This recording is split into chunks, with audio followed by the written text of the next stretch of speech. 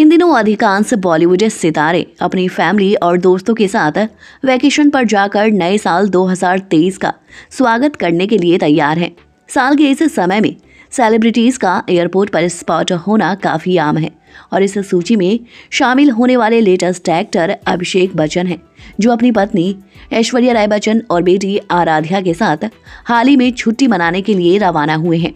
बच्चन परिवार के पास जश्न मनाने के और भी कारण हैं। क्योंकि हाल ही में पुणे में आयोजित प्रो कबड्डी लीग में अभिषेक की टीम जयपुर पिंक पैंथर ने टूर्नामेंट जीता था। टीम की जीत पर उत्साह के साथ पत्नी ऐश्वर्या ने अपने इंस्टा हैंडल से कुछ तस्वीरें भी शेयर की थी। उन्होंने इसके साथ लिखा था, Jaipur Pink Panther Pro Kabaddi season nine champions है। क्या शानदार सीज़न है।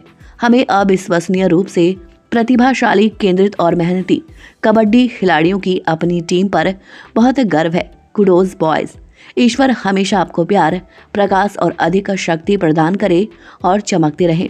फ़िलहाल हमें बच्चन परिवार के वैकेशन से तस्वीरों का इंतज़ार है तो आपको इनकी फैमिली कैसी लगती है? कमेंट करके ज़रूर बताइएगा। साथ ही ऐसे और भी वीडियोस देखने के लिए हमारे चैनल को सब्सक्राइब ज़रूर कर लें।